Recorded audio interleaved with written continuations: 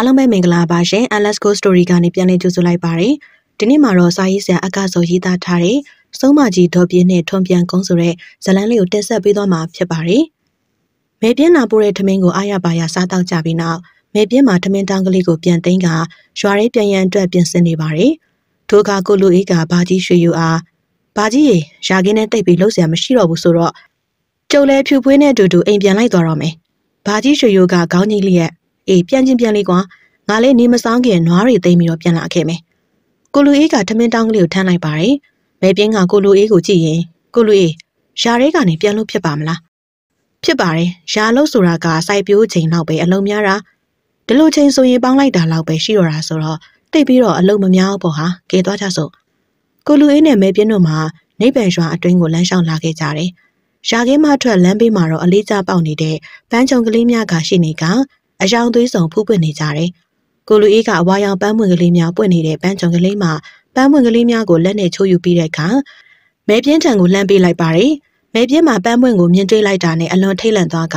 လက်နဲ့ပုတ်ချလိုက်ပါတယ်။ကိုလူအေးပင်ထိတ်တလန့်ဖြစ်သွားတယ်။ဘာဖြစ်လို့လဲဖြူဖွေး။မဲပြင်းမှာရင်တွေတုံလာပြီးနောက်ရင်ဘတ်ကိုလက်နဲ့ဖိထားကအသက်ကိုအမောတကြီးနဲ့ရှူရှိုက်နေမိတယ်။ကိုလူအေးကမဲပြင်းလက်မောင်းအားပြေးတွဲလိုက်ပြီးဘလို့ဖြစ်တာလဲဖြူဖွေး။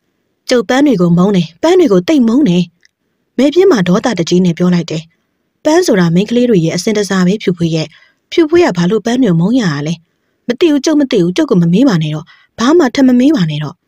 ကိုလူအေးမှာအလွန်ထိုးဆက်နေတော့လေမဲပြင်းအားကြောကုန်းကိုပတ်သက်ပြီးရင်ဘာပဲဖြစ်ဖြစ်စိတ်ကိုခိုင်ခိုင်ထားဆက်မှာဖြူဖွေးရဲ့တတိလေးထားဆက်မှာ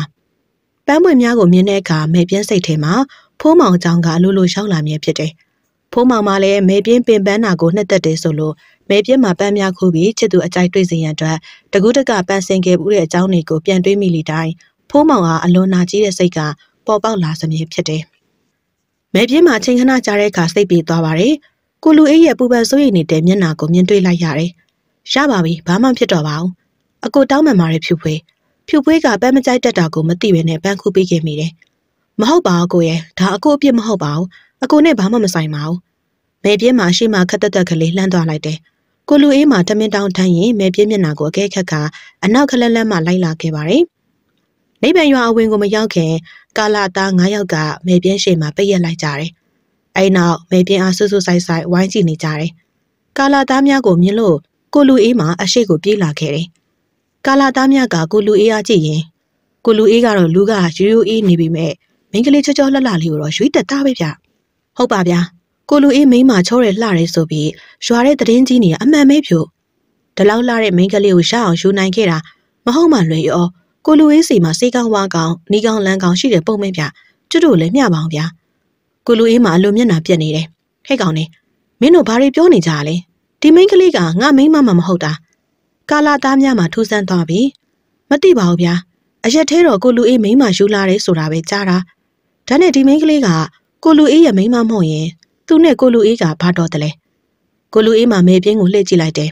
မေပြင်းမှာခေါင်းကိုသာငုံထားတယ်ကိုလူအေးကကြံရမရတော့ပဲဟုတ်ကွာသူကငါနှမတော်တယ်နှမဆိုပါလားကျတို့ကြားဘူးတာကိုလူအေးကတကောင်ချက်စုံနှမရင်တော့မဟုတ်ပေါ့ကွာသူကငါနဲ့ဆွေမျိုးနီးစက်တော်တယ်ဘာကြီးနေခဲ့တဲ့တယောင်းရွာကငါတို့အမျိုးကွာအော်ဟုတ်ပြီတယောင်းရွာဆိုတာကိုလူအေးတို့မိဘတွေနေခဲ့တာမဟုတ်လားဗျဓာတ်နဲ့ကိုလူအေးသူကအပြိုလား ဟာကွာမင်းတို့ဘာတွေလိုက်မင်းနေရလဲအပြိုပေါ့ကွာကာလာသားများမှရီမောလိုက်ကြပြီကျွတ်တို့ဆူတောင်းတော့ပြတာပဲဗျာကဲကိုလူအေးခမရရဲ့နှမကလေးကိုကျွတ်တို့ရွာသူဖြစ်အောင်ခေါ်ထားတော့မေးပြမင်းတို့ကဘာစကားလဲကွာအိုဗျာသူလဲအပြိုကျွတ်တို့ကလည်းလူပြိုလူလွတ်တွေမဟုတ်လားဗျဒီတော့ကျွတ်တို့တဲကတယောက်ယောက်ကသူ့ကိုချစ်ရေးဆိုပြီးတော့တိုးတိန်ထူထောင်ပြီးဒီရွာမှာပဲခေါ်ထားမယ်လို့ပြောတာဗျဟုတ်တယ်ရောက်ဖကြီးရေကာလာသားတယောက်ကကိုလူအေးကိုရောက်ဖကြီးလို့ခေါ်လိုက်တဲ့အခါ ကိုလူအေးတယောက်ထိုးလူထံကိုပြေးကပ်သွားပြီးဘဲဘက်လက်တီးနဲ့ထိုလူရဲ့မျက်နှာကိုပြစ်ထိုးထည့်လိုက်တယ်။ထိုကာလာသားမှလည်းအလင်းငိုင်းမှုမရှောင်နိုင်တော့ပဲလက်သီးချက်ထိမှန်ကမြို့ပေါ်ကိုလဲကျသွားတယ်။ကျန်တဲ့ကာလာသားများမှထိုကာလာသားကိုတွဲထူလိုက်ကြတယ်။မဲပြင်းမှလည်းအလွန်ထိတ်လန့်သွားပြီးကိုလူအေးလက်မောင်းကိုပြေးဆွဲလိုက်တယ်။ကိုလူအေးမှတော့တရှုရှုတရှဲရှဲနဲ့ဒေါသထွက်နေတယ်။ကာလာသားများကကိုလူအေးအားကြည့်ရင်ဟဲ့လို့ခမရဘာလုပ်တာလဲ။မင်းတို့ပါဇက်တွေကိုပိတ်ထားကြစမ်း။ငါ့ကိုငါနှမရှိမှရောက်ပါလို့မခေါ်နဲ့ကွာ ကိုလူအေးကရန်လူနေလို့မေပြင်းကပဲဝင်ထိန်နေရတယ်။အကိုအကိုလူအေးအဲ့ဒါလိုမလုပ်ပါနဲ့ရံမဖြစ်ပါနဲ့တော့မေပြင်းကတားလို့ကိုလူအေးမှငိမ့်ကြသွားတယ်ကာလာသားများကလည်းဖုတ်ဖက်ခါခါထားလိုက်ရင်ဒီမှာကိုလူအေးဒီတကားတော့ကျုပ်တို့တီးခံလိုက်မယ်ကာလာသားများမှလက်ကြီးလက်ကြီးနဲ့ထွက်သွားကြတယ်ထိုချိန်ထိကိုလူအေးမှဒေါသမပြေသေးပါဘူးကိုလူအေးရဲ့စကားပြောနေဘာဖြစ်လို့လက်ပါရရလဲဟာဖြူဖွေးရဒီကောင်တွေကစားတလူလိုနောက်တလူလိုနဲ့နင့်ကိုစော်ကားနေတာဟာ ယောက်ျားဖြစ်ပြီးပါဇက်စည်းကဲမရှိတဲ့ဒီကောင်တွေကိုငါလုံးလုံးကိုကြည့်မရအောင်ကဲပါသူတို့ကလည်းကိုလူအေးကိုခင်းလို့စကြနောက်ကြတာပါကျတို့ရွာဘက်ဆိုလေကာလာသားတယောက်နဲ့တယောက်ခင်မင်းရင်ရောက်ဖဆိုပြီးတော့ခေါ်တက်ကြတာငါ့တော့ဒီလိုလာမခေါ်နဲ့ငါမကြိုက်ဘူးငါ့ကိုကြိုက်တယ်လို့စားလို့ရတယ်နောက်ပြောင်လို့ရတယ်ငါစိတ်မစိုးတတ်ဘူးဒါပေမဲ့နင့်ကိုစတာနောက်တာတိတ်ခါချတာကိုတော့ငါမကျင်တဲ့ဘူးဖြူဖွေးကိုလူအေးမှာမျက်မှောင်ကြီးကျုပ်ကဒေါသထွက်နေတယ်မဲပြင်းကရီးကြဲကြဲနဲ့ကဲပါကိုလူအေးရဲ့စိတ်လျှော့လိုက်ပါ စနောက်ခန်းရတိုင်းသာထိုးကျိတ်နေရင်နောက်ဆိုကိုလူအေးဆိုတဲ့နာမည်ပြောက်ပြီးတော့ကိုလူမိုက်ဆိုတဲ့နာမည်တွင်သွားအောင်မယ်မဲပြင်းကပြုံးရည်ကပြောလိုက်တော့မှကိုလူအေးတယောက်စိတ်ပြေသွားကရှီမောလိုက်ပါတယ်ပီယာနဲ့နှစ်ယောက်သားအိမ်ကိုပြန်လာခဲ့ကြတယ်တကြီးဖိုးမောင်မှာရက်ကြီးသာတောက်လို့နေတယ်ရွှေခေါမရှိတော့လို့လူရန်ကားတွေကစားပေါက်မရှိတာကြောင့်နောက်ဆုံးဖိုးမောင်နီကိုပြန်ကတ်လာကြတယ်ဖိုးမောင်မှာတကြီးမင်းထိုင်တဲ့ပုတ်လုံးကြီးများဖြစ်လောက်ကကနုတ်ပန်းများဖြတ်လှဆန်ထားတဲ့တက်သားခုံကြီးမှာခန့်ခန့်ကြီးထိုင်နေတယ်။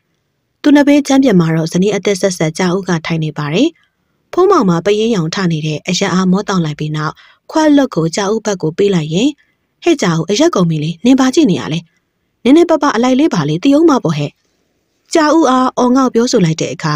ကြာဦးမှာမျက်ရည်ကလေးတဆန်းဆန်းနဲ့နဘေးမှာရက်ပလင်းကိုယူကဖုံးမောင်လက်ထဲကင်ထားတဲ့အရက်ခွက်အတွင်းကိုလောင်းထည့်ပေးလိုက်ပါတယ်။ဖုံးမောင်မှာမူးရနေသူမို့ခွက်မှာလှုပ်ရမ်းသွားလေရာကြာဦးထည့်ပေးတဲ့အရက်များက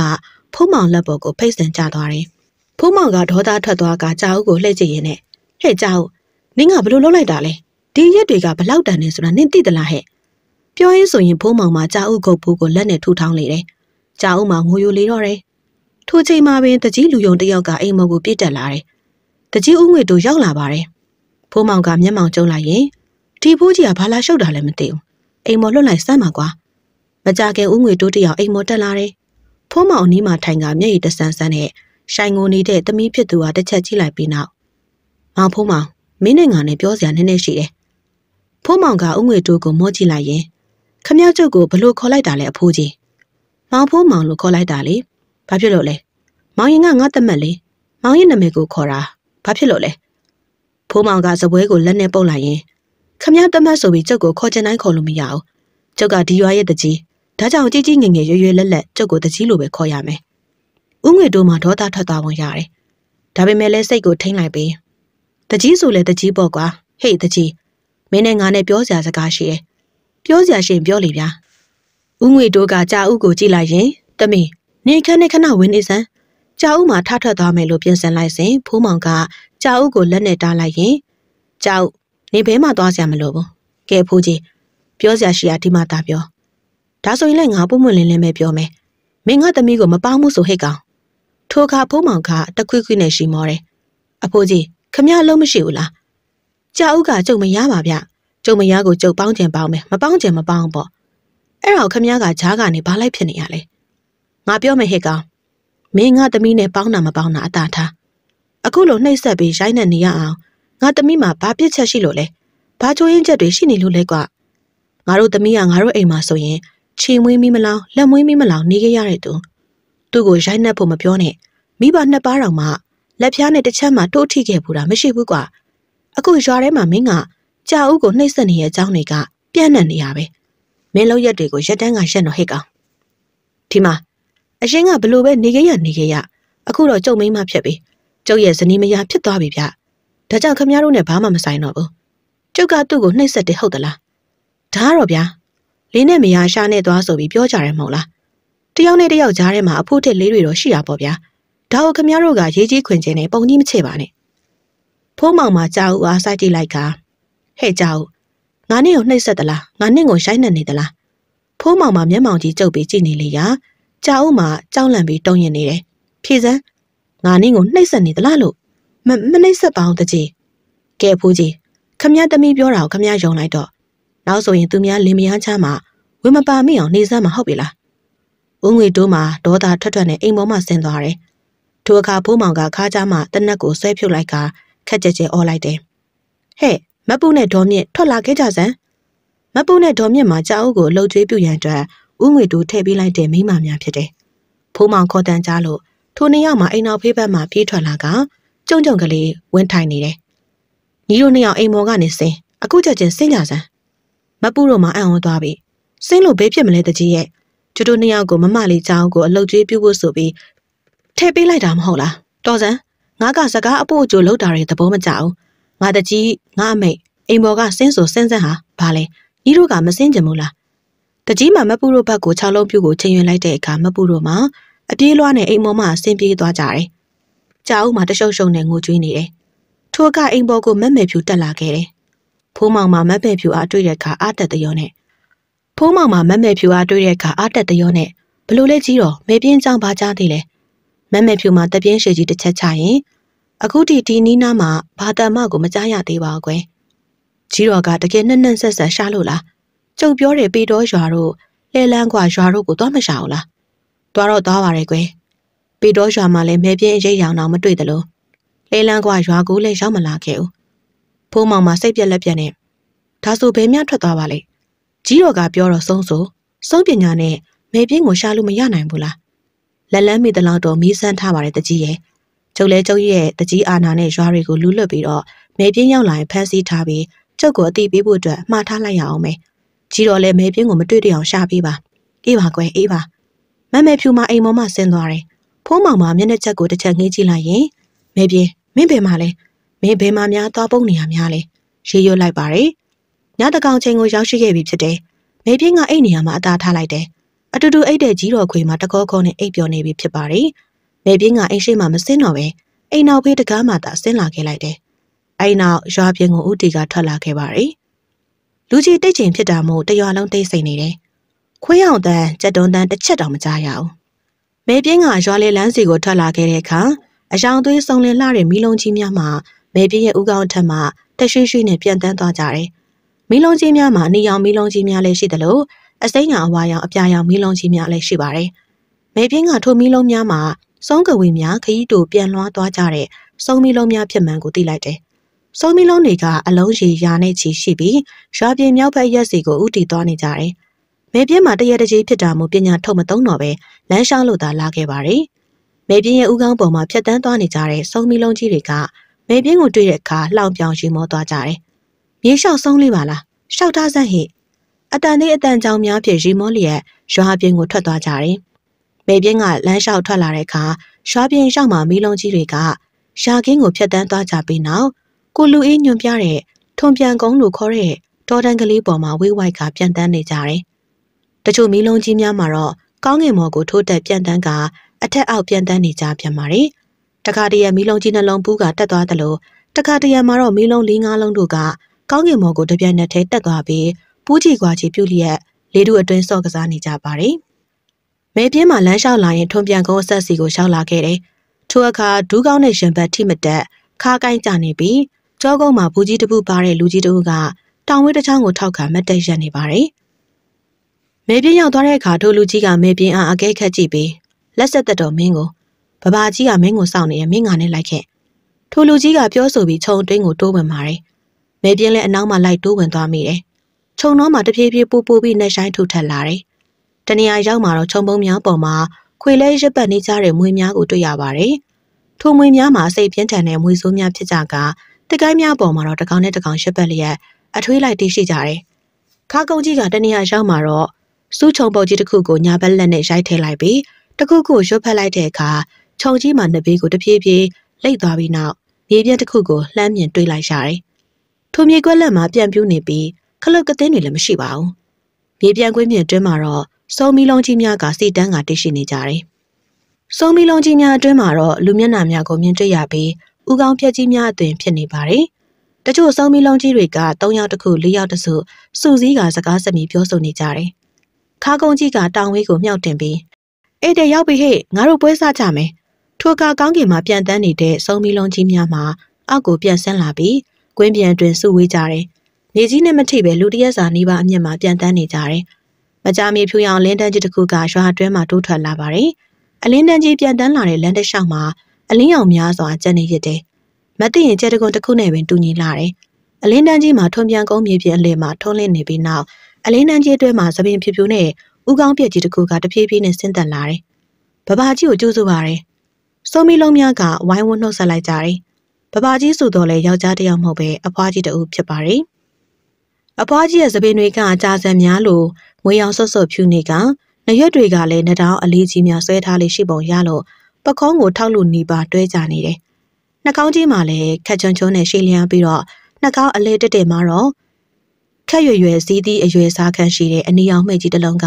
ထင်ရှားစွာတည်ရှိနေပါတယ်။အဖွားကြီးရဲ့မျက်လုံးများမှာတော့ ဖန်တီးရောင်အလာဝင်းလက်တောက်ပါနေတယ်။ဘဘာကြီးဆိုလို့ယောက်ျားကြီးမှတ်တာတကယ်တော့မိန်းမကြီးဖြစ်နေတာ哦။မဲပြင်းကပြောဆိုလိုက်တဲ့အခါဟဲ့ဆုံးမငါ့ကိုနင်ဘာမှပြန်ပြောစရာအကြောင်းမရှိဘူး။နင့်ကိုဒီကိုခေါ်လိုက်တာမေးစရာရှိလို့ခေါ်လိုက်တာပဲ။မေးချင်လင်မေးပေါ့။ဒါပေမဲ့မမြန်မေးကြုတ်ချိန်မရအောင်။အောင်မေညီရများကြီးကြီးကျယ်ကျယ်နဲ့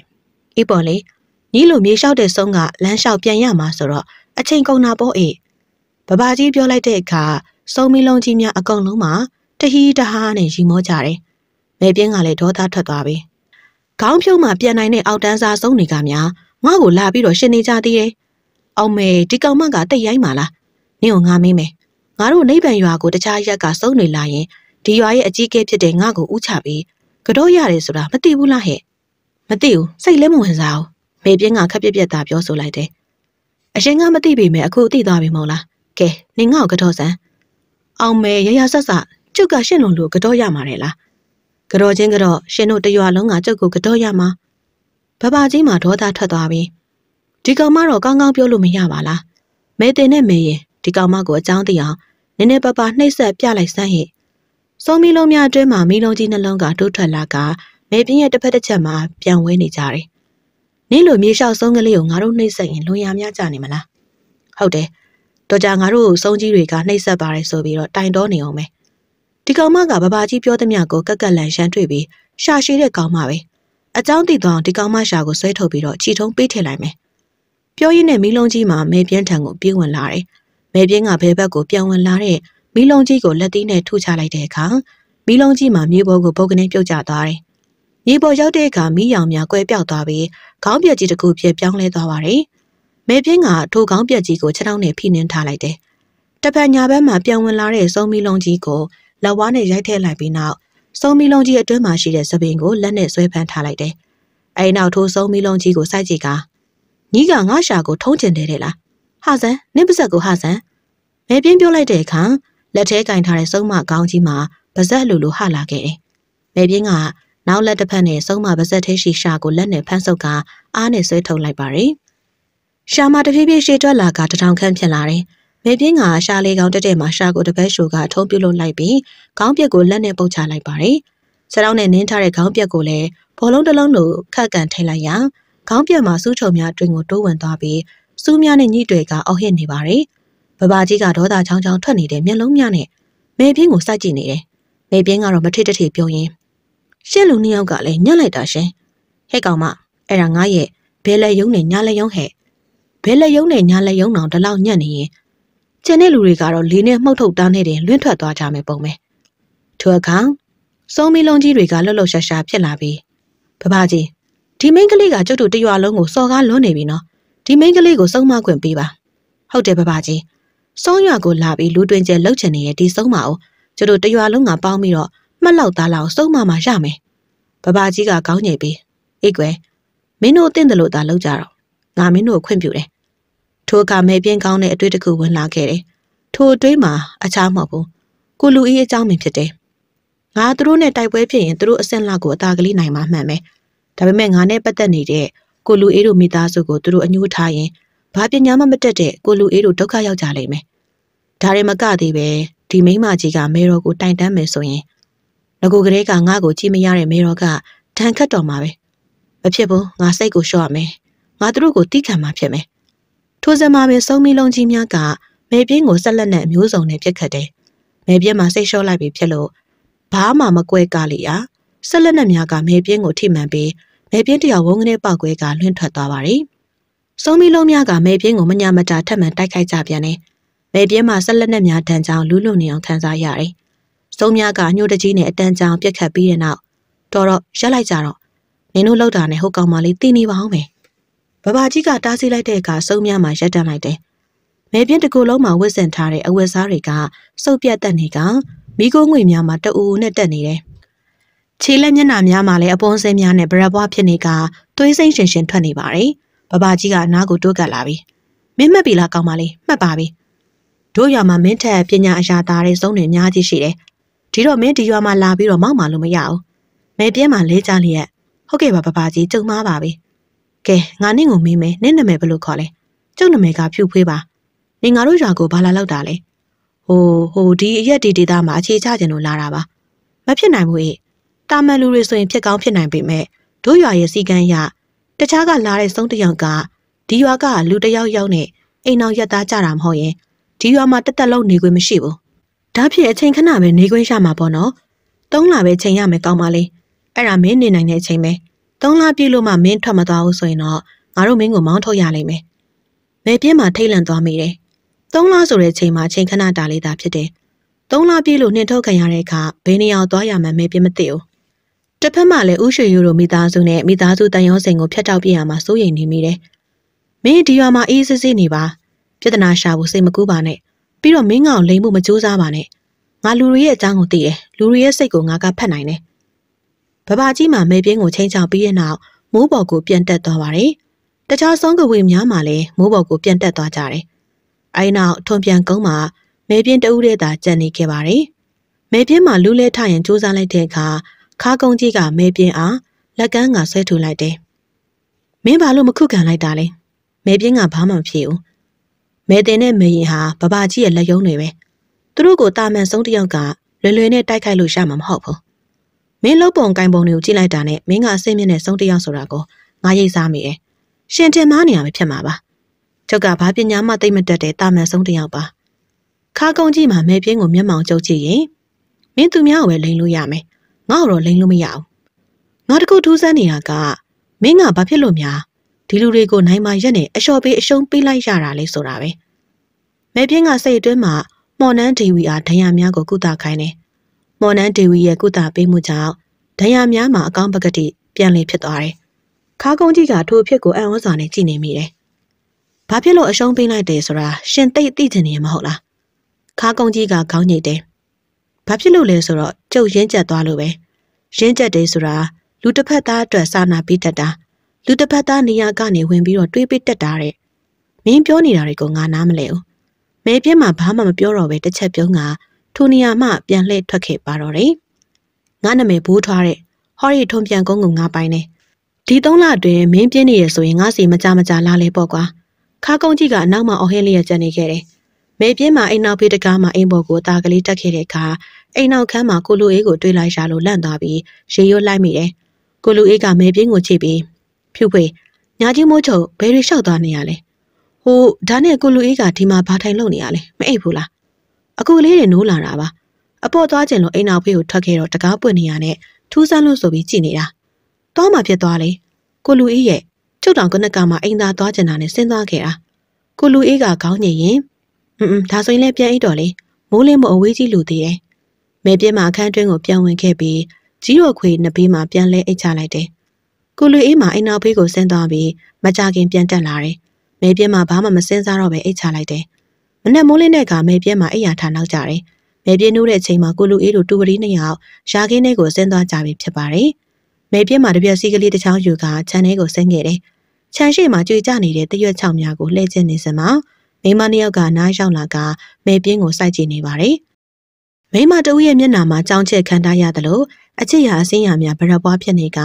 ကြံမိမတဦးမှာတော့ပါဖောင်းဖောင်းနဲ့ဖြစ်နေအောင်တွေ့ရတယ်။ထိုမိန်းမနှစ်ဦးမှာမဲပြင်းအားအခဲမကြည့်တဲ့မျက်လုံးများဖြင့် စူးစူးဆိုင်ဆိုင်ကြည့်နေတာကိုတွေ့ရတယ်။မဲပြင်းမှာထိုမိန်းမနှစ်ဦးကိုအကဲခတ်ရင်ညကကြုံတွေ့ခဲ့ရတဲ့မဲတင်နဲ့မဲရင်ဖြစ်မှန်းသိလိုက်တယ်။နင်းချစ်ချစ်တတိထား။နင်းကငါတို့အမြဲစောင့်ကြည့်နေရဆိုနင်းမမေ့နဲ့။မိန်းမနှစ်ဦးမှာပြောဆိုပြီးဒေါနဲ့မော်နဲ့ထွက်သွားကြတယ်။မဲပြင်းမှာတော့ထိုမိန်းမနှစ်ဦးကိုကြည့်ရင်စိတ်ထဲမှာကြိတ်ကရှိမောမိလိုက်တယ်။ဒီနေ့မှာတော့စာရေးဆန်အကားစော်ရေးသားထားတဲ့စုံမကြီးဒေါ်ပြင်းနဲ့ဘဘာကြီးဆိုတဲ့ဇလန်းလေးကိုတင်ဆက်ပေးသွားမှာဖြစ်ပါတယ်။နေပန်ရွာအလဲခန့်မှာအလွန်ကျယ်ဝန်းတဲ့ခြံဝိုင်းကြီးတစ်ခုရှိပါတယ်။ အဲဒီခြံဝိုင်းကြီးအတွင်းမှာတော့တက်သားနဲ့ခိုင်မာဆောက်လုပ်ထားတဲ့အင်္ဂလိပ်တစ်လုံးရှိကအိမ်ကောင်းရင်ဘက်မှာတော့အလွန်ကြီးမားတဲ့နှစ်ချိုမကြီးပင်ကြီးတစ်ပင်လည်းရှိပါတယ်။အဲ့ဒီအင်္ဂလိပ်ရဲ့အရှိမခုံတန်းတွေကိုရိုက်လုထားကအဲဒီခုံတန်းများမှာအလွန်များပြားလာတဲ့လူများမှာတန်းစီလေးရထိုင်နေကြတယ်။ခြံဝိုင်းကြီးအတွင်းမှာလေထိုလူများစီးနှင်းလာကြတဲ့နွားလဲများမြင်းလဲများနဲ့ပြည့်နေနေပါတယ်။မကြမီအိမ်ကြီးပေါ်မှာမိမတယောက်ကဆင်းလာတယ်။နောက်တယောက်လိုက်ခဲ့ပါ။ခုံတန်းမှာထိုင်နေတဲ့အမျိုးသမီးတဦးနဲ့ တရက်စွာဝက်စားစင်ရင်ထားတဲ့အမျိုးသားတဦးမှာ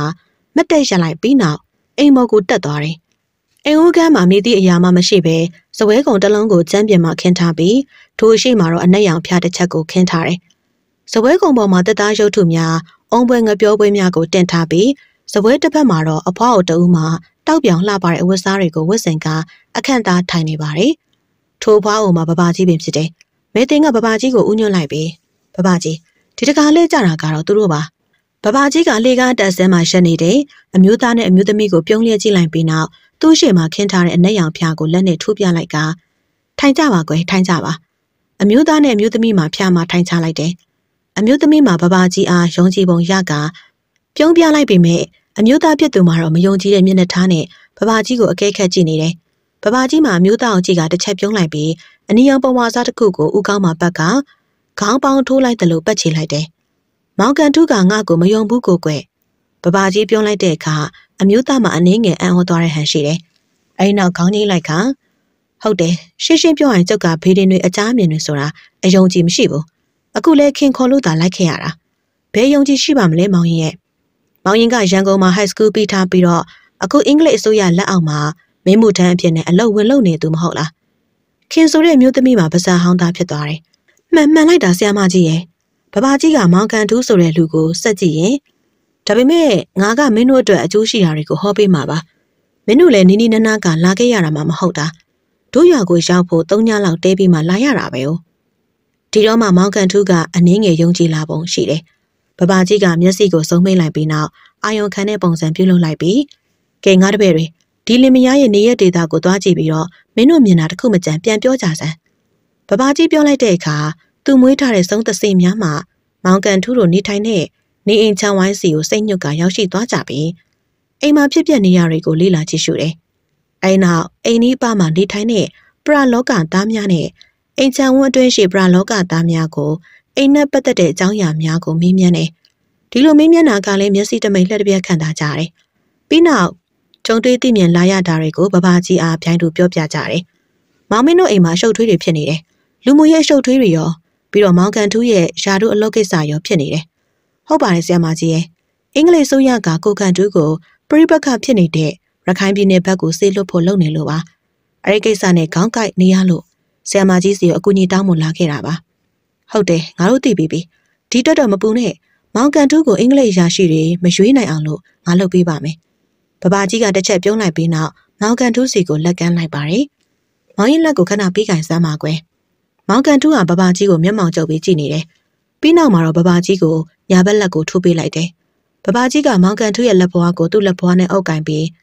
မင်းကတီးရီးဆိုတဲ့မိန်းကလေးတစ်ယောက်အတွက်နဲ့ခေါင်းရှုပ်နေရတယ်မလား။မောင်ကန်ထူးတစ်ယောက်ပါဇက်မစိနဲ့အံ့ဩသွားတယ်။ပြီးတဲ့အခါနဘေးမှာထိုင်နေတဲ့မိမဖြစ်သူအားတစ်ချက်လှည့်ကြည့်လိုက်တယ်။ခင်တယောက်ထိုစကားကိုကြားသွားမလားဆိုပြီးစိုးရိမ်နေမိတယ်။ဘဘကြီးကပြောရင်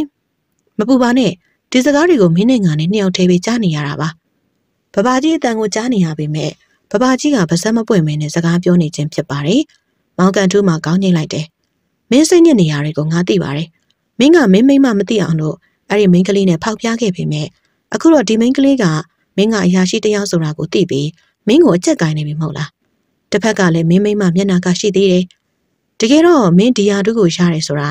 မင်းရောက်ကမကြီးရဲ့အရှိန်ဝါမျက်နှာကြောင့်လည်းပါသေးတယ်။ဒါကြောင့်မင်းကကြံရမရတဲ့ဆုံး စိတ်ညစ်ညစ်နဲ့တနေရာကိုထွက်သွားဖို့ဆုံးဖြတ်ခဲ့ပြီးအရာရှိတွေလက်လက်နေတဲ့ရခိုင်ဘက်ကိုသွားဖို့ကိုရိုင်းစာတင်ခဲ့တာမဟုတ်လားမောင်ကန်တူနှစ်ဖူးမှာချွေးစည်းများပြန်လာပါတယ်မောင်ကန်တူမှာဘာမှမပြောရဲပဲခေါင်းသာညှိပြလိုက်တယ်ခင်တယောက်မောင်ကန်တူနဲ့ပပကြီးတို့ကိုနားမလဲတလို့နဲ့စိုက်ကြည့်နေပါတယ်ပြဿနာရဲ့အစကတီရီဆိုတဲ့မိန်းကလေးပဲအဲ့ဒီမိန်းကလေးသာမရှိဘူးဆိုရင်မင်းကူကြုံနေရတဲ့ပြဿနာတွေအကောင်လုံးကအေးစစ်စစ်ဖြစ်သွားနိုင်တယ်အဲ့တော့အဲ့ဒီမိန်းကလေးကိုငါရှင်းပေးမယ် မောင်ကန်တူမျက်လုံးတွေရောင်လက်သွားပြီးခေါင်းကိုစက်ကနေငိမ့်လိုက်တယ်ဒါပေမဲ့မင်းမိမမသိအောင်လုပ်ပေးရမယ်ဆိုတော့ကြီးတော့နည်းနည်းများမယ်ကွာများကျင်တဲ့လောက်များစမ်းမှဆီယမကြီးရဲ့ကျုပ်တက်နိုင်ပါတယ်အဆင်ပြေမယ်ဆိုရင်လေကျုပ်ဆီယမကြီးကိုထိုက်ထိုက်တန်တန်ကိုကြော့ပါမယ်မောင်ကန်ထူးမှာစိတ်မထိန်နိုင်ဖြစ်ပြီးပါဇက်မှာဖွင့်ဟပြီးပြောမိတယ်ထိုအခါပပကြီးကလည်းကောင်းပြီမောင်မင်းတို့ပူပန်နေရတဲ့အရာတွေအားလုံးအားလုံးအေးချမ်းသွားပြီလို့သာမှတ်လိုက်ပြီးတော့ပပကြီးကခင်းရဲ့လေဘင်းကိုကြည့်လိုက်ရင် နင်းရဲ့လေဘင်းကဘရက်ကလေးကလည်းလှသားပဲအေးခင်မာလေဘင်းမှာဝစ်စင်ထားတဲ့ဗရံများတက်ထားတဲ့ဒေါင်းပရက်ကိုလက်နဲ့ဆမ်းမိလိုက်တယ်။မောင်ကန်တုကခင်ကိုလှည့်ကြည့်လိုက်ရင်ဆီယမကြီးကဒီဒေါင်းပရက်ကိုလိုချင်လို့ထင်မရခင်ဖြုတ်ပေးလိုက်စမ်းပါ။ခင်မာမျက်လုံးပြူမျက်စံပြူဖြစ်သွားပြီ။ဒီဒေါင်းပရက်ကခင်ကိုမမေအမွေပေးခဲ့တဲ့ဒေါင်းပရက်လေးအကိုရဲ့ဒီပရက်ကိုဘာဖြစ်လို့သူမြောက်လွယ်လွယ်ပေးရမှာလဲ။ပေးဆိုပေးလိုက်စမ်းပါခင်ရဲ့။ဆီယမကြီးကအားလုံးအဆင်ပြေအောင်လုပ်ပေးမယ်လို့ပြောတယ်မဟုတ်လား။ ဒီလောက်လေးနဲ့ပေးစရာလားအကိုရဲ့။မောင်ကန်ထူးမှမျက်နှာထားတင်းတင်းနဲ့ဒါဆိုမတိမငြိမ်ဖြစ်နေရခိုင်နေဆက်ကိုမောင်းသွားရမယ်ပေါ့မောင်းအသက်ထက်ဒီပရက်ကအရေးကြီးရပေါ့ဟုတ်လားခင်ခင်တရဝေခွဲမရဖြစ်နေတယ်အဲဒီနောက်လေဘင်းရှိထောင်းပရက်ကိုဖြုတ်ယူလိုက်ပြီးလက်အတွင်းထိကနောက်ဆုံးအချိန်ဖြစ်တစ်ချက်ပွတ်သက်ကြည့်နေသေးတယ်မောင်ကန်တူးကခင်ရဲ့လက်ထဲမှာထောင်းပရက်ကြီးကိုဆွဲယူလိုက်ခါဘဘကြီးလက်ထဲကိုထိုးထည့်လိုက်ပါတယ်အားလုံးအဆင်ပြေသွားမှာပါနော်ဆရာမကြီးစိတ်သာချ အဆင်မပြေဘူးဆိုရင်တနက်ယူလာပြီးငါ့ကိုပြစ်တက်သွားစမ်းပါ ਈ ဒီနေ့မှာငါကနာမည်တစ်လုံးနဲ့နေရဲဆိုတာမင်းတို့သိရမဟုတ်လားသိပါတယ်ဆရာမကြီးအားကိုးပါတယ်ကောင်းပြီမင်းတို့ပြန်ကြတော့မင်းတို့အိမ်ပြန်ရောက်တဲ့ချိန်ပြဿနာတွေအားလုံးရှင်းသွားလိမ့်မယ်မောင်ကန်ထူးမှာမုံရတဲ့ကလေးတစ်ယောက်လိုပျော်ရွှင်သွားပြီမဲ့ခင်တစ်ယောက်ကတော့ဘဘာကြီးလက်ထဲမှာကင်ထားတဲ့ဒေါင်းပရက်ကိုကြည့်နေနှမျောနေမိတယ်မောင်ကန်ထူးကမတ်တက်ထားရလိုက်ကဘဘာကြီးကိုနှုတ်ဆက်ပြီးအိမ်ပေါ်မှာဆင်းသွားတယ်မဲတင်မနားကိုကပ်လာပြီးနောက် နောက်တစ်ယောက်ခေါ်လိုက်ရမလားဘဘာကြီးနေအောင်ငါလှုပ်ရှားရှိသေးတယ်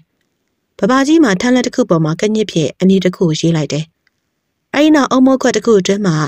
ပြစ်ချွဲစေးကပ်နေတဲ့အနက်ရောင်အရှိများကိုလက်နဲ့လှမ်းယူလိုက်ကထိုင်းရွက်ပေါ်မှာပုတ်တက်လိုက်တယ်။ထိုအခါပပကြီးရေးထားတဲ့စလုံးတွေကအနက်ရောင်စလုံးများဖြစ်ထင်ရှားစွာပေါ်ပေါက်လာပါတယ်။ရေးသားထားတဲ့စလုံးတွေကတီရိတီတီရှင်ရှင်လို့ရေးသားထားတဲ့စမအခရာများဖြစ်တယ်။ထိုထန်းရက်ကလေးကိုယူခဲ့ကအိမ်ကန်းအတွင်းကိုဝင်လာခဲ့တယ်။ အိမ်ကန်းထဲမှာတော့အရွယ်စားစုံလင်လာတဲ့အယုတ်ပေါင်းများစွာရှိတယ်။ထိုရုံများအတွင်းမှာလူတအုပ်အရွယ်ခန့်ရှိတဲ့အယုတ်ကြီးတရုတ်အရှိမှရပ်လိုက်တယ်။စစ်စရာပြည့်ထိုအယုတ်မှာအယုတ်တစ်ခုမဟုတ်ပဲတေဆုံးပြီးတဲ့အလောင်းကောင်အချောက်ကြီးဖြစ်နေတယ်။အဲဒီအလောင်းကောင်ကြီးရဲ့ပါဇက်အတွင်းကိုဘဘကြီးကထက်ရွက်ကလေးကိုထည့်လိုက်တဲ့အခါအလောင်းကောင်ကြီးကမျက်လုံးပွင့်လာပြီးတော့ပြူတူပြည့်တဲ့နဲ့ကြည့်နေတယ်။ဘဘကြီးကထိုလောင်းကောင်ကြီးရဲ့နရွက်အနားကိုနှက်ခမ်းကိုတိုးကပ်လိုက်ပြီးတီရီဆိုတဲ့မိန်းကလေးကိုတက်လို့ရရင်တက်တက်လို့မရရင်အသက်ရှင်လျက်နဲ့ တည်သွားတယ်လို့ဖြစ်အောင်လုပ်ခဲ့။ဘဘကြီးပြောဆိုလိုက်ပြီးနောက်အလောင်းကောင်ကြီးကမျက်လုံးများပြန်ပိတ်သွားပါတယ်။ညနေလာပြီဖြစ်တယ်။တီရီဆိုတဲ့မိန်းကလေးမှသူ့နေထိုင်တဲ့တဲ့ရင်ကလေးအတွင်းမှာအိတ်ဆက်နေတယ်။ထိုအခိုက်တဲ့ရင်ကလေးမှတင်ရင်တစ်ချက်တုံခါသွားပြီးနောက်တဲ့ရင်တွင်ခြေတံများကိုကြားရတယ်။တီရီမှတတိကောင်းသူပြပြီးခေါင်းအောက်ရှိဓမြောင်တစ်ချောင်းကိုဆွဲယူလိုက်ပါတယ်။ပြီးနောက်ကျွန်တော်တွင်းမှထွက်ကမိကွက်ကိုထွန်းညှိလိုက်တယ်။ဘာတူလဲ။အကူကြီးလား။တီရီကတဲခန်းတွင်းမှထွက်လိုက်တဲ့အခါ တဲပြင်ပအိတ်ခန်းရှိမှလေးကြနေတဲ့အကူဖြစ်သူကိုမြင်တွေ့လိုက်ရတယ်။ထွက်ခိုက်စီမီအလင်းရောင်ဖြင့်နေရန်ပေါ်မှာပြေးလွှားနေကြတဲ့အရိတ်နှက်ကြီးများကိုမြင်တွေ့လိုက်ရပြန်ပါတယ်။တစ်ချိန်တည်းမှာပဲနေရန်ပေါ်မှာအရိတ်နှက်ကြီးတစ်ခုကတိရိထံကိုပြေးဝင်လာကလေစိမ့်တစ်ချက်တိုက်လိုက်သလိုစိတ်ငနေနဲ့အေးသွားပါတော့တယ်။အဲနောက်တိရိမှာစီမီကွက်ကိုကျမ်းမြင်ပေါ်ကိုပြစ်ချလိုက်ကလက်ထဲမှာကင်ထားတဲ့ဓမြောင်ကိုလက်နှစ်ဖက်နဲ့တေချာစွာဆုပ်ကန်လိုက်တယ်။ အဲနောက်မှာအတန်းနဲ့ကြီးကျယ်တစ်ချက်ရီမောလိုက်ပြီးဓမြောင်ကိုရင်ဝကိုအားကုန်ထိုးဆိုင်ချလိုက်ပါတယ်။လေးငါးချက်ခန့်စိတ်ကြိုက်ထိုးနှက်ပြီးတဲ့အခါတီရီမှာကျမ်းပြင်ပေါ်ကိုရုပ်ကျူးပြန်လေးကျသွားတယ်။စီမီမှာကျမ်းပြင်ပေါ်မှာခင်းထားတဲ့ဖျားအားလောင်ကျွမ်းကမိတောင်မီးလျံများကတဲအတွင်းမှာထွက်ပေါ်လာပါတယ်။ဘဘကြီးမှာနိဗ္ဗာန်ရွာအတွင်းအလွန်ထင်ရှားတဲ့အကြမ်းမြင်ဟောသူတဦးဖြစ်တယ်။တခြားကြီးရွာများမှတာမကတနေ့တကြီးမှပဲလာရောက်ကမင်းမြန်းကြလို့မနက်ပိုင်းမှာအမြဲလိုလိုဧည့်သည်များနဲ့ပြည့်နေနေပါတယ်။ ဘဘကြီးမှာနေ့လေနေကြသွားတဲ့အခါမျိုးမှာဟောပြောခြင်းကိုရနာလိုက်လေရှိတယ်အမှန်စစ်စစ်အဖြစ်ပပကြီးမှာအကြမ်းမြင်ဟောစားနေပေမဲ့သူ့လက်အောက်ငယ်သားစုံများနဲ့စုံတက်ပညာများကိုအသုံးချပြီးဟောစားနေခြင်းဖြစ်တယ်။အိမ်မှာလက်အောက်ခံအစေပါစုံတစေများကိုမွေးမြူပြီးတော့ထိုစုံများနဲ့လာရောက်မေးမြန်းသူများကိုစုံစမ်းကပြောဆိုစေခြင်းဖြစ်ပါတယ်။နေ့လည်နေခင်အားလက်တဲ့ချိန်မှာမေပြင်းကရွာလေးကိုထွက်လာခဲ့တယ်။ရွာထဲမှာပညာသင်များကမေပြင်းကိုဘူးကြည့်ကြည့်နေကြတယ်။ နိဗ္ဗာန်ရွာမှာစုံလုံးပေါ်များတဲ့ရွာကြီးတစ်ခုဖြစ်ပါတယ်။အိုးလုပ်ငန်းလုပ်ကင်နေတဲ့အိမ်များမှာဝင်းချန်ကြီးများကျိန်ဝန်းပြီးတော့အိမ်ရှိမျက်နှာစာမှာတော့အိုးများကိုစုပုံထားတယ်။အိုးကုံသေးများကအိုးချမ်းများထဲမှာအိုးများကိုလှည့်နဲ့လာရောက်တိုက်ကြတယ်။မေပြင်းကဘာရဲ့မဟုတ်ပဲနဲ့အိုးများကိုတစ်ချက်ကြည့်လိုက်မိတယ်။အိမ်ကစားထဲတဲ့အိုးကလေးကဖုံးပင်နေပါလား။ကျုံတော့အိုးကလေးတစ်လုံးတောင်ရှူသွားမှာပဲမေပြင်းမှာအိုးဆိုင်စီကိုချင်းကပ်လာခဲ့တယ်။ချမ်းဝင်းတွင်းကိုဝင်လိုက်တဲ့အခါမှာတော့ အိုးကုံတဲ့နှစ်ဦးကစိုင်ထဲမှာထိုင်နေကရင်းနှီးချမ်းတောင်းနေကြတယ်။အလုတ်သမလေးတွေကလည်းနွားလေးများပေါ်ကိုအိုးများစီထက်ကတင်းဆောင်နေကြတယ်။နေပန်ရွာကအိုးကတော့တိတ်ကောင်းတာဗျာ။ကျုပ်ဖြစ်တခြားရွာကအိုးတွေတော့မယူတော့ပဲဒီကပဲယူရောင်းနေရတာ။တခြားရွာတွေကနေပန်ရွာကဖုတ်တဲ့အိုးတွေလောက်အကျမ်းမှမခံတာအိုး။အိုးလုံးတရာတဲ့ရင်တစ်လုံးနှလုံးကတော့ကွဲတက်ပဲတက်တယ်။ဒါပေမဲ့ဒီရွာကလောက်တဲ့အိုးတွေကတော့အိုးချင်းရရင်တော့မှတချွန်ချွန်နဲ့ထောင်းထောင်းမိပဲဗျာ။ဟုတ်တယ်ဗျာ။ ကျုပ်ဆိုမယုံလို့တခြားရွာကအိုးနဲ့နေပန်ရွာကအိုးကိုရှင်းရိုက်တာတခြားအိုးကြီးပဲကွဲတာပဲ။မဲပြင်းကထိုလူများစကားပြောနေအောင်နားထောင်ရင်းနဲ့စားအိုးများကိုရွေးချယ်နေမိတယ်။ထိုစဉ်အိုးတင်ဆောင်နေတဲ့လူငယ်ကလေးတဦးမှလက်ချော်သွားကတောက်ရီအိုးတစ်လုံးမှလက်အတွင်းမှာလွတ်ကျသွားတယ်။လှဲပေါ်မှာကျသွားတဲ့တောက်ရီအိုးမှာမြေကြီးမှနဲ့ထိတွေ့သည့်တိုင်ထောင်ကနေအတန်မြေကအဲ့ရမတင်တစုံတစားမြပဲမပဲ့ပါဘူး။ဦးကြကွဲတာကိုမေပြင်းကအမှတ်တမဲ့လှမ်းကြည့်လိုက်တဲ့အခါ အိုးမှာအစိမ်းရအလင်းတစ်ခုဝန်းလက်သွားတာကိုတွေ့လိုက်ရတယ်။မေပြင်းမှာအံ့ဩသွားပြီ။အော်လက်ဆက်သက်တော့သူတို့ကအိုးတွေကိုပညာနဲ့လှုပ်ထားတာ哦။မေပြင်းမှာစားအုပ်ကလေးတစ်ခုကောက်ကင်လိုက်ပြီးအိုးဖင်ကိုလက်နဲ့ပုတ်ကြည့်တဲ့အခါစောင်းတက်ပညာဆက်တစ်ခုထည့်သွင်းထားတာကိုတွေ့ရတယ်။ဟုတ်ပြီ။ဒီဆက်ကအိုးတွေကိုတိတ်ပြီးတော့မကွဲစေတဲ့ဆက်လက်နဲ့ပဲဖြစ်ရမယ်။မေပြင်းကရေရွတ်လိုက်ပြီးတဲ့အခါအိုးရောက်တဲ့အိုးတယ်မလေးတူကဆိုင်နောက်မှထွက်လာခဲ့တယ်။ စားအုပ်လေးကဘလောက်လဲ။တအုပ်ကိုတက်မှတ်။အလိုဈေးကြည့်လိုက်တာတခြားစီမှာဝင်ရင်နှစ်ပေးလောင်ပဲကြမှာအောင်။မဝင်နိုင်မဝင်နဲ့လေ။မေပြင်းမှာဒေါသထက်မိသွားတယ်။ဒီလိုနဲ့လက်ကိုအနောက်ကိုပြစ်လိုက်ပြီးတက်ထုနဲ့မြေရိုင်းကိုအစိုးရတဲ့ဂေါလာနမင်းကိုစိတ်ညွှန်လိုက်တယ်။ငွေပြားတပြားဖြစ်စမ်းမေပြင်းကပြောဆိုလိုက်ရင်လက်ညှိုးနဲ့လက်မကိုပုတ်လိုက်လျာမကြခင်လက်အတွင်းတမတ်စိတ်ကလေးတစ်စိတ်ဖြစ်ပြောင်းလဲသွားတယ်။မေပြင်းကထိုးအကျွေးစိတ်ကလေးကိုပေးလိုက်ပြီးနောက် အိုးကိုဝယ်ယူလာခဲ့တယ်။ပညာနဲ့လှုပ်ထားတဲ့အိုးတွေမျိုးဈေးကြည့်တာ哦။ရေရွတ်လာခဲ့တယ်။မေပြင်းလမ်းလျှောက်နိုင်ဟိုဒီဒီကြည့်ဟာပညာသင်များရဲ့အတက်ပညာများကိုတွေ့ရတယ်။ရွှေပဒိန်လုပ်ငန်းလုပ်ကင်သူတွေကလည်း၎င်းတို့ရဲ့ရွှေတွေကိုအတက်ပညာများဖြင့်စီမံထားလို့ရွှေကိုမြင်လိုက်တာနဲ့မဝယ်ခြင်းမဲမနေနိုင်အောင်ဆွဲဆောင်နိုင်လို့လာတယ်။ရုပ်ဆွဆုံးလမ်းဘေးမုတ်တဲ့ပင်လေထိုမော့ကိုစားပြီးရင်စားစီခြင်းနဲ့တန်တန်ဆွဲဖြစ်စေတဲ့ပညာဆက်တစ်ခုကိုထည့်သွင်းပြုလုပ်ထားလို့မုံရောင်းအားကောင်းလာတယ်။ မဲပြင်းကလမ်းလျှောက်လာရင်ခြံဝင်းကျယ်ကြီးတစ်ခုရှိဝအဖြစ်မှာခြံဝင်းတွေကိုအမှတ်မတင်လှမ်းကြည့်လိုက်ရာမကြီးပင်အောင်မှာမတက်ရက်နေတဲ့ဘဘာကြီးကိုမြင်တွေ့လိုက်ရပါတယ်။မေပြင်းမှာဆက်သွားရန်ပြင်ဆင်တော်လဲဘဘာကြီးကပြုံးပြနှုတ်ဆက်လို့မကောင်းတက်လို့ပြန်လေပြုံးပြလိုက်ရတယ်။ညီနာမည်ဖြူဖွေးမဟုတ်လား။လာစမ်းမအောင်အေး။ညီနဲ့စကားလေးပါလေးပြောရအောင်ပေါ့။မေပြင်းမှာခြံဝန်းတွင်းကိုဝင်လာခဲ့လိုက်တယ်။နေကောင်းလားမင်းအောင်ငါရုပ်ကလူမမာရုပ်ပေါက်နေလို့လားဟဲ့။မေပြင်းကဘာဆက်ပြောရမှမသိအောင်ဖြစ်သွားတယ်။ ဘဘာကြီးကရေမောလိုက်ရင်လန့်သွားတယ်မဟုတ်လား။ကဲလားအိမ်မောတက်ကြစို့ဘဘာကြီးကအိမ်ဘော်ကိုတက်သွားရန်ပြင်းလို့မဲပြင်းကအနောက်မှလိုက်တက်ခဲ့တယ်။မဲပြင်းအိမ်ဘော်မတက်ခင်မှာမကြီးပင်ဘော်ကိုတစ်ချက်လှမ်းကြည့်လိုက်တဲ့အခါညောင်များလှစွာသောနနာဘဝတွေကမကြီးပင်ဘော်ကနေထိုင်ကြည့်နေကြတယ်။ထိုနနာဘဝများရဲ့အဆင့်တန်းကိုခွဲခြားကြည့်လိုက်ရာတကူးစမ်းပေါ်သေးသေးမဟုတ်တဲ့နနာဘဝတွေဖြစ်ကြတယ်။မဲပြင်းအိမ်ဘော်တက်လူဆဲဆဲမှာနဘေးကိုဆုံးတစေတွေရောက်လာကြပြန်တယ်။ ဆုံးတစေတွေကသပင်စုပ်ပွားနဲ့အနက်ရောင်ခန္ဓာကိုယ်ရှိပြီးခြေလက်များမပါပဲခေါင်းကြီးနဲ့အနက်ရောင်အဝတ်စကြီးတစ်ခုလွင်မျောနေရနဲ့ပင်တူညီတယ်။စုံတစီများမှာလက်များစာအချီကျိုးများနဲ့တူညီတဲ့အမွှေးမြင်များရှိကအဲ့ဒီအမွှေးမြင်များကိုမဲပြင်းထံကိုပြစ်လွတ်လိုက်ကြတယ်။မဲပြင်းကိုလုံးနဲ့ထိတွေ့တဲ့အခါစုံတစီများကဓာတ်လိုက်သလိုတုံ့လှုပ်သွားကြပြီးလေးပေါ်မှာပြန်ဝဲကကြံ့နေခဲ့တယ်။စုံတစီတွေကမဲပြင်းထံမှာအတွေးမြင်များအကြံစီများကိုသိနိုင်ရန်အတွက် ကြိုးစားကြခြင်းဖြစ်မှန်မဲပြင်းကသိလိုက်တယ်။အိမ်ပေါ်ရောက်တဲ့အခါဘဘကြီးကစပွဲကုံနောက်မှာထိုင်ပြီးမေပြင်းကိုအနက်ရောင်ဖျားပေါ်မှာထိုင်ခိုင်းစေတယ်။မေပြင်းကအနက်ရောင်ဖျားကိုပညာဆက်ရှိမရှိစစ်ဆေးကြည့်လိုက်တဲ့အခါ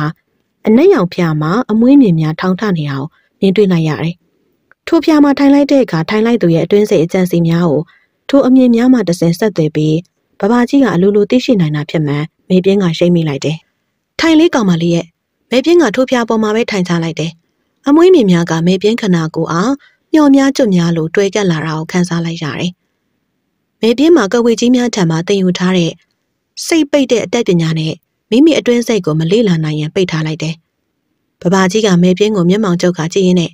မင်းကငါဖေးရင်ကြည့်ပေးမယ်မင်းစိတ်ဝင်စားတယ်မဟုတ်လား။မဲပြင်းကဘာမှမပြောဘဲညင်နေလိုက်တယ်။မင်းကလေးမှန်ရင်ဘေးရင်စိတ်ဝင်စားရမှာပေါ့အေး။မှန်စမ်းညီလက်ကိုရှေ့တိုးပေးစမ်း။ ဘပပကြီးကပြောလိုက်တဲ့အခါမေပြင်းကလည်းညှင်းမနေတော့ပဲလက်ကိုရှေ့တိုးပေးလိုက်တယ်မေပြင်းလက်ဖွားကိုပပကြီးကသူ့ရဲ့လက်ဖွားနဲ့ထက်ကြည့်လိုက်ရင်မျက်လုံးမိတ်ကအာယုံခတ်နေလိုက်တယ်ဒါပေမဲ့ပပကြီးမှာမေပြင်းစိတ်အတွင်းမှာအတွေးအကြံစီများကိုခြေရခံမရပဲဖြစ်နေလို့ထူးဆန်းနေတယ်ထိုချိန်မှာပဲမေပြင်းကပပကြီးရဲ့အတွင်းစိတ်ကိုဖတ်ထီးစီမှာတင်ထားတယ်စိတ်ထိုးပေါက်တဲ့ပညာနဲ့ထိုးပေါက်လိုက်ပါတယ်ပပကြီးမှလည်းမိမိရဲ့အတွင်းစိတ်တကားပေါက်ကိုဖွင့်လိုက်ခါမေပြင်းရဲ့စိတ်ကိုဖတ်ရှုရန်ကြိုးစားနေတဲ့အချိန်ဖြစ်တာမို့ မေပြင်းကတိတ်ခက်ခက်ခက်ခဲမကြိုးစားလိုက်ရပဲပပကြီးရဲ့အတွင်းစိတ်စီကိုထိုးပေါက်ဝင်ရောက်နိုင်ခဲ့ပါတော့တယ်။နင်္ဂါများဝိဇ္ဇာဖြစ်ခြင်းသေးတဲ့လားမိမို့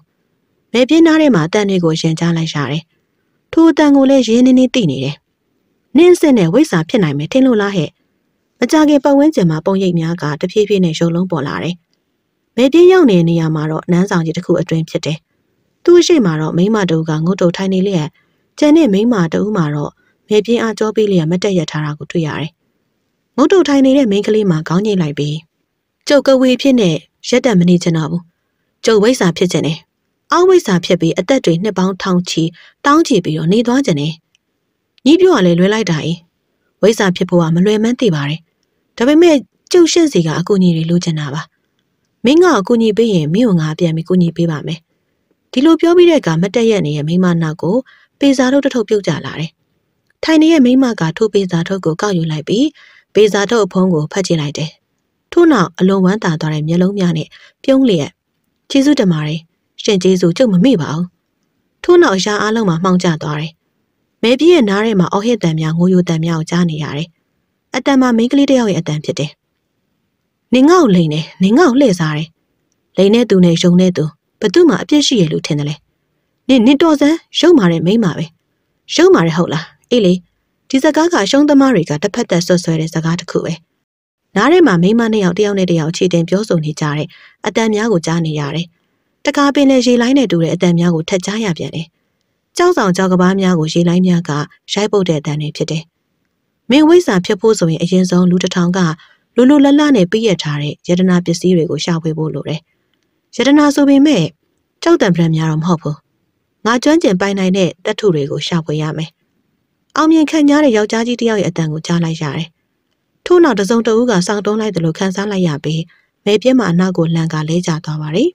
။အပြင်လောကမှာမဲပြင်းမှာအနက်ရောင်ဖျားပေါ်မှာအနောက်ကိုလန်ကလဲကျသွားတယ်။မဲပြင်းကမျက်လုံးကိုဖွင့်ကြည့်လိုက်တဲ့အခါချွေးများစီးကြနေတဲ့ဘဘကြီးကိုတွေ့လိုက်ရတယ်။မဲပြင်းကဘဘကြီးကိုကြည့်ရင်ရှင့်နာမည်ဘဘကြီးမဟုတ်ဘူး။ရှင့်နာမည်မိမိုးပဲ။ဘဘကြီးကလည်းအလွန်ထိတ်လန့်တဲ့မျက်နှာထားနဲ့နေနေနာမည်ကမဲပြင်းမယ်။ တဦးစိတ်အတွင်းကိုတဦးရောက်ရှိသွားကလျှို့ဝှက်ထားတဲ့အကြောင်းအရာတွေကိုမြင်တွေ့လိုက်ရတာမို့မဲပြင်းရောဘဘကြီးပါနှစ်ယောက်သားအလွန်မောပတ်နေကြတယ်။အသက်ကိုခက်ပြင်းပြင်းရှူနေရင်နှစ်ယောက်သားအတန်ကြာအထိအမောဖြေနေမိတယ်။နေငါတို့ရွာကိုလာတာဘာယူရချက်နဲ့လဲမဲပြင်း။ရှင်ကရောဘာဖြစ်လို့လူတွေစိတ်ကတက်ထုတွေကိုစုဆောင်းနေရလဲ။ဘဘကြီးစကားအရမဲပြင်းရဲ့အကြောင်းအရာအပြည့်စုံကိုဘဘကြီးမသိလာဘူး။ထို့နည်းတူမဲပြင်းမှလည်းဘဘကြီးရဲ့အတိတ်အကြောင်းအရာတွေကိုတချို့တဝက်သာသိခဲ့တယ်။ နင်းနဲ့ငါနဲ့ပေးယူတစ်ခုလုံးပဲမဲပြင်း။ဘာပေးယူလဲ။နင်းတိထားတာတွေကိုဘသူ့ကမှနင်းမပြောဘူးဆိုရင်လည်းငါလည်းငါတိထားတဲ့နင့်အကြောင်းတွေကိုဘသူ့မှမပြောပြအောင်။မဲပြင်းမှထိုးကြံကိုသဘောတူလိုက်တယ်။ကောင်းပြီလေ။ရှင်သာနှုတ်လုံပါစေ။ငါကအမြဲတမ်းနှုတ်လုံပြီးသားပါ။ဒါနဲ့ခုနကမိန်းမကဘသူလဲ။သူ့အတန်ကိုရင်းနှီးနှီးသိနေတယ်။ဒီကိစ္စကမင်းနဲ့မဆိုင်ပါဘူး။မင်းဘာမှမသိချင်ပါနဲ့။ကျုပ်ခမမ်းမိထားတဲ့လူတစ်ယောက်တော့ရှိတယ်။မဲပြင်းပြောလိုက်တဲ့အခါဘဘကြီးမှမျက်လုံးပြူသွားတယ်။ မဲပြင်းကဘဘကြီးမျက်နှာကိုစိတ်စိတ်ကြည့်ပြီးခုနကရှင့်အာယုံထဲမှာမြင်ခဲ့ရတဲ့လူဟာမေရိုရမင်းမဟုတ်လားဘဘကြီးမျက်နှာကသွေးဆုပ်သွားတယ်လို့ဖြူချသွားတယ်။မေရိုရမင်းရဲ့အတန်ကိုကြောက်ကောင်းကောင်းမှတ်မိတယ်။ဒီတန်ဟာသူ့တန်မှာသူ့တန်ဆက်ဆက်ပဲ။ဒီတော့ရှင်နဲ့မေရိုရမင်းကြားထဲမှာရန်ညိုးတစ်ခုခုရှိခဲ့ပုံရတယ်။ဘဘကြီးကဒီတော့မှမျက်နှာကိုပြန်တီးလိုက်ပြီးမင်းနဲ့မေရိုရမင်းနဲ့ကြားထဲကရန်ညိုးတွေလိုပေါ်မယ်ပြင်းရဲ့ ဒီလိုစချီကသူ့ဘဝအကြောင်းအရာတွေကိုပြောပြတယ်။မိမိုးမှာအညာသူတူမဟုတ်ဘဲနဲ့မုတ်တမရက်မှာလာရောက်တဲ့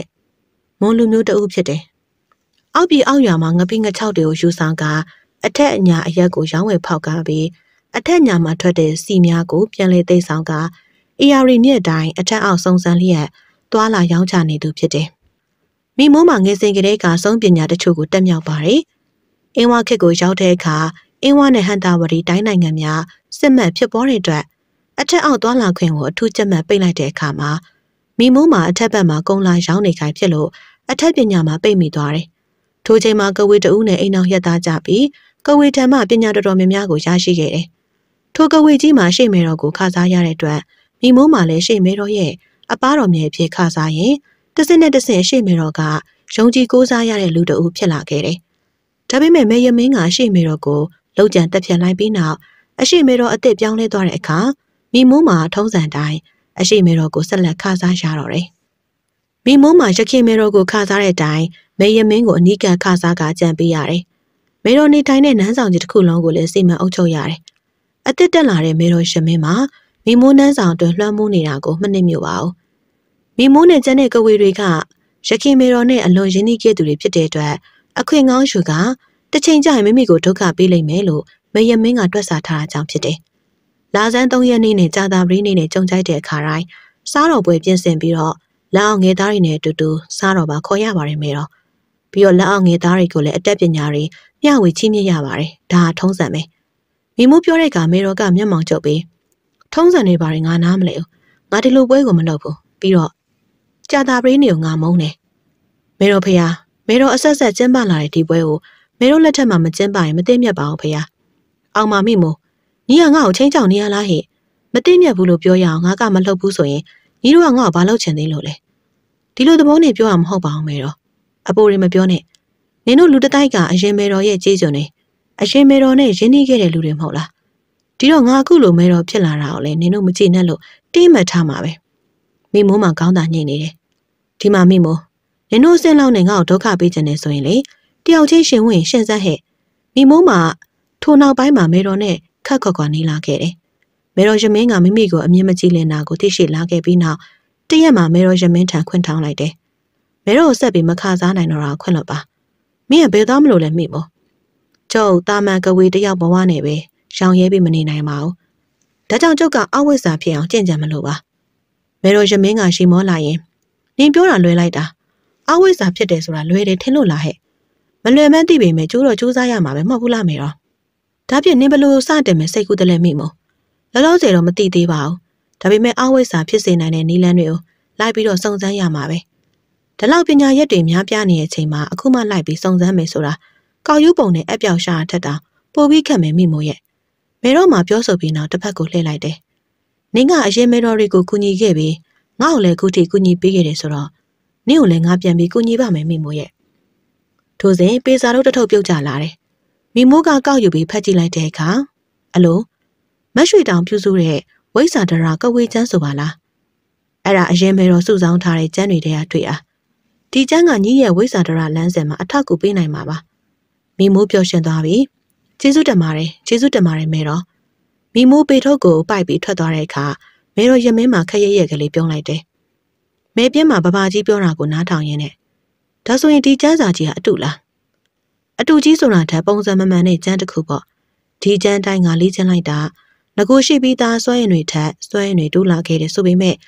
လမ်းမကြီးကိုလိုက်ပြီးတော့အခုလိုဝိဆာမဖြစ်ဘဲနဲ့ကိုလိုကန်လန်ကြီးဖြစ်နေဆိုတော့ဒါနဲ့ရေတွေနားကလူကြီးကရောအဲ့ဒါကငါ့ကိုဝိဆာပြကူပြောင်းနိုင်ဖို့စောင့်ရပေးနေတဲ့လူကြီးပါသူစုဆောင်းခိုင်းတာတွေကိုငါခုစူးစမ်းပန်းစားနဲ့စုဆောင်းလာခဲ့တာနှစ်တွေကြာလာပေါ့ ဒါပေမဲ့ဘဘာကြီးကမေတော်ရမင်းကိုရန်ညူးဖွယ်ထားရမဟုတ်လားဘဘာကြီးကတစ်ချက်ပြုံးလိုက်ပြီးငါဝိဇ္ဇာလန်းစင်လိုက်နေရပေမဲ့ဒင်းကိုတော့တချီတချီစိန်ခေါ်လိုက်ချင်သေးတယ်ဘဘာကြီးလည်းအစွမ်းနေရှိနေရပဲသူ့ကိုစိန်ခေါ်ပေါ့မလွယ်ဘူးမေပြင်းမေတော်ကိုစိန်ခေါ်ဖို့ကအခုချိန်မှာပို့လို့တော့မလွယ်ဘူးဘာဖြစ်လို့လဲတစ်ချက်သူကစောင်းသွင်းဖွဲ့ပြီးသူ့နားမှာစုံတွေကောက်ွယ်ခိုင်းထားတယ်စောင်းသွင်းဆိုတာမေတော်ရဲ့ကပိုက်ဆောင်တွေကလူတွေပဲမေတော်နဲ့မရှင်ခင်သူတို့နဲ့ရင်ဆိုင်တွေ့ရနိုင်တယ်ဒါတော့ဒါပေါ့နှစ်ချက် မဲတော့ကိုရှင်ဖို့ဆိုတာလက်လက်နဲ့တခုလိုအပ်တယ်။အစွမ်းရှိတဲ့လက်နဲ့တစ်မျိုးပေါ့။ဒါရီမရှိပဲမဲတော့ကိုသွားရှင်ပြိုင်လို့မရနိုင်ဘူး။ဒါဖြစ်ပပကြီးကျုပ်ကိုကူညီနိုင်မလား။မင်းကမဲတော့ကိုဘာလို့မလို့လဲ